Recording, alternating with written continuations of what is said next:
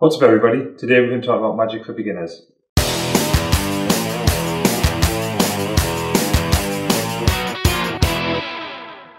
So this is an intro video on the YouTube channel just to tell you what the channel is all about. We're going to look at a range of different things such as magic tutorials, um, reviewing magic tricks, reviewing decks, showing you all the latest and greatest things happening in magic today. My main profession is photography and videography, so what we're going to be doing as well is going to incorporate quite a lot of that into the magic so you can sort of improve your magic videos online or you can use video to actually perform illusions and perform magic tricks. Thanks everyone for watching the video and hopefully you can stick around. It'd be great if you could press subscribe and be kept up to date with all the latest videos that are coming online. But yeah, that'd be fantastic. So until next video, see you later.